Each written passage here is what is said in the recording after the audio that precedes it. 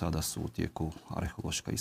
istraživanja ili iskapanja, odnosno očekujemo da bi kroz kojih mjesec dana mogli i službeno početi graditi tu prvu fazu od Varaždina do Tužnog. Vrijednost investicije je 32 milijuna eura s PDV-om,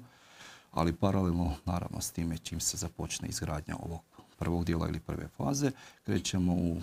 izlaštenje zemljišta za drugu fazu od Tužnog do Ivanca, potom od Ivanca do Lepoglave, tako da, da, da kad krenemo nema više stajanja, čekanja da se riješe imovinsko-pravni odnosi koji su nam odnijeli kojih godinu dana vremena.